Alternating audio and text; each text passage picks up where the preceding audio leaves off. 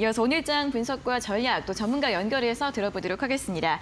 오늘은 하이투자증권 이영훈 부장과 연결해 보도록 하겠습니다. 부장님 안녕하세요. 네, 안녕하세요.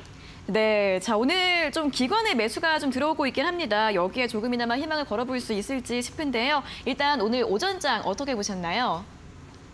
어, 제 오늘 국내 증시는 물론 어, 해외 미국 증시 역시 그 CPI 지표가 8.5 예상에서 8.6이 나옴에 따른 어, 긴축 우려감이 기업 실적 악화로 이어져 가지고 주가 하락을 부질끌 것이라는 어, 우려감으로 이제 반영이 되는 모습입니다.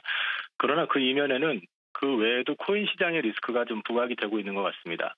사실 시장은 이 부분에 대해서도 우려감이 굉장히 커져 있는 상태로 보입니다.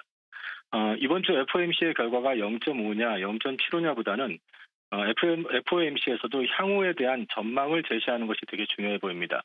개인적으로는 7월까지 giant step을 한다고 해도 현 구간에서 주가 급락 가능성은 제한적으로 보입니다.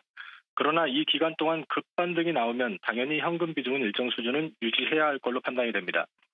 시장 상승 조건으로 제시했던 환율의 안정, 인플레 고점 확인, big step 마무리 세 조건 모두에 의문 부호가 붙은 상황이고 여기에 셀시우스라고 하는 가상자산 대출 관련 업체가 뱅크런이 발생하면서 코인 시장 전반이 급락하는 것이 시장에선 큰 부담 요인으로 작용하고 있습니다. 여전히 오늘도 코인 시장 하락폭이 크다는 점은 부담스럽습니다. 향후 이 부분은 지속 관찰이 필요한 상황으로 보이며 증시는 리스크가 크게 부각되는 오전장 흐름이었습니다. 네, 요즘에는 또 주식과 코인이 상호적으로 영향을 주고 있는 것으로 보입니다. 지속적으로 관찰이 필요할 것으로 보이고요.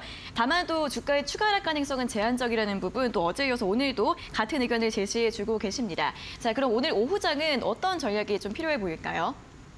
현재 보여지는 지표상의 문제는 커 보이지는 않습니다. 음, CPI 지수 역시 어, 센티적인 기대감이 실망으로 바뀐 상태이고 0.5돈, 0.75돈 빅스텝을 밟아서 올리는 것에 대해서도 어, 기간이 제한된 상태라면 크게 우려할 지수는 아닙니다.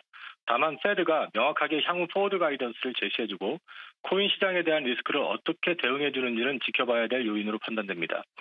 시장에 또 다른 충격을 줄 리스크만 커지지 않는다면 22년 어, 기준 forward PBR 0.9배 이하인 현 구간을 감안해서 보면 현재 환율에서 수출 관련 대형주 우량주의 경우는 제한적인 어, 그 제한적인 그 리스크로 판단이 됩니다. 투매보다는 장을 지켜보면서 대응을 하시되 어, 현 구간은 상승 구간이 아닌 반등 구간을 예상하는 점이라는 점에서 어, 반등 시에는 일정 수준 현금 비중은 조절해야 될 걸로 판단이 됩니다.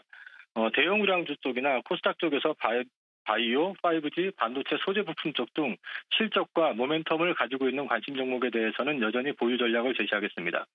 증시에서 긴축 기조에 대한 반응과 코인 시장을 동시에 지켜보면서 어, 향후에는 좀 대응을 조심스럽게 해야 될 걸로 판단됩니다. 네, 오늘 말씀 잘 들었습니다. 고맙습니다. 감사합니다. 네, 그래도 더 이상의 리스크는 크지 않을 것 같다라고 전망을 해주셨고요. 일단 현금을 보유하시고 어, 바이오나 5G 반도체 같은 종목들은 보유 전략도 유효하다라는 부분 강조해 드렸습니다.